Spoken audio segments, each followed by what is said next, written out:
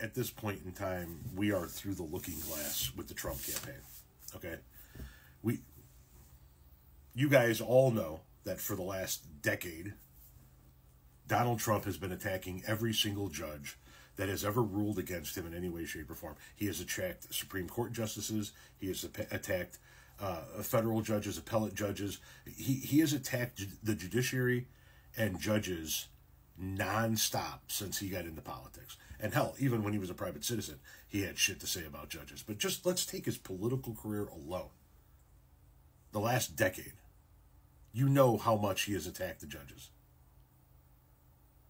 So to hear him say what I'm about to show you is absolutely fucking insane.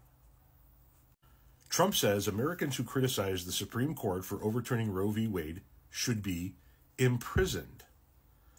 Quote, these people should be put in jail for the way they talk about our judges and justices. Let me repeat that for you because it bears repeating. These people should be put in jail for the way they talk about our judges and justices. Put in jail for the way they talk. That is the textbook definition of a violation of one's First Amendment right to free speech. But more to the point, who the fuck are you to be saying this? Let's break down some of the people that you have attacked in the judiciary. Justices Sonia Sotomayor and Ruth Bader Ginsburg. You can pause to read these. Here, here. Attacked Amy, uh, Judge Amy Berman Jackson following the Roger Stone case. Pause to read here. Attacked the judiciary following the asylum ruling. Pause to read here. And here. Attacks on the Carter Page FISA application. Pause to read here. Attacks on the judiciary following the DACA ruling. Pause to read here. Critique of the Bergdahl ruling. Pause to read here. Attacks on the judicial system in response to terrorist attacks. Pause to read here.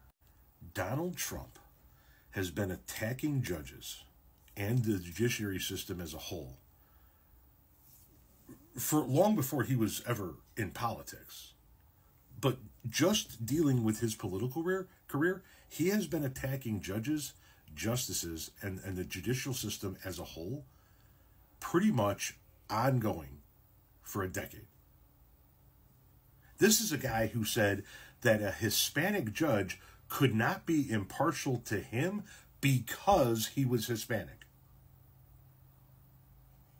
Now, he wants to imprison anyone who dares disagree with the Supreme Court over the overturning of Roe v. Wade. That is straight up fascism. If you still walk into a voting booth and pull the lever for this man in 40 days, you should be ashamed of yourself. He went once again, let's let's look at the quote again. These people should be put in jail for the way they talk. That's fascism.